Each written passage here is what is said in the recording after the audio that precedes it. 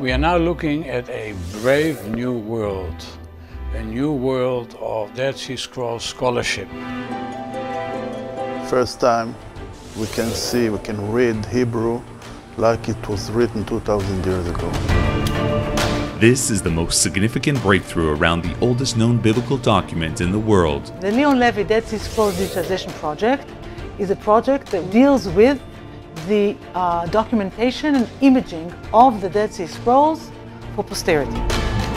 The miracle takes place here. This facility of the Israel Antiquities Authority in Jerusalem has an imaging system like none other in the world. The unique, amazing thing about this system is the amazing data captured with the system, which we can read and analyze in many different ways. The uncovering of the Dead Sea Scrolls in the 1950s set off a great deal of excitement.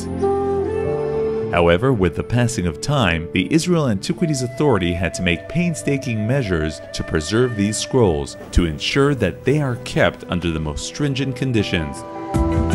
The new digitization project creates a new reality. The idea behind it is, first of all, to preserve the scrolls for future generations, and secondly, but just as important, to open the scrolls online to the public and the scholarly world alike.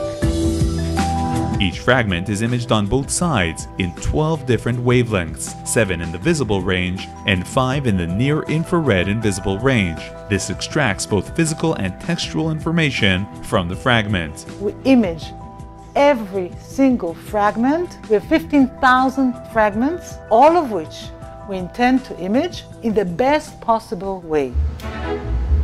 The real news is this highly sensitive photography and imaging system that enables detecting written characters which have become invisible to the naked eye. You can really see into the insides of the parchment. We will simply see much more on those colored images than we have ever been able to see in the past. If you look closer, you'll see that you can actually see the ink underneath.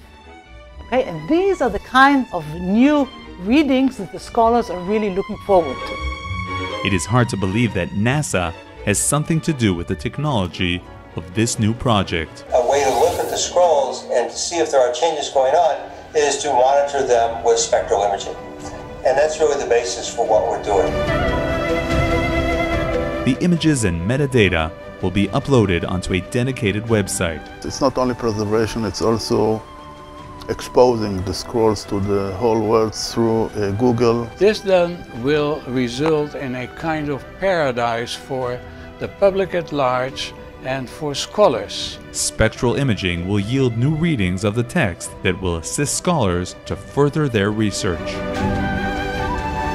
This cutting edge technology will showcase the oldest known copies of Scripture to the whole world. We will have the possibility of making searches and all this freely available on the internet. Truly a brave new world for all those interested in the Dead Sea Scrolls.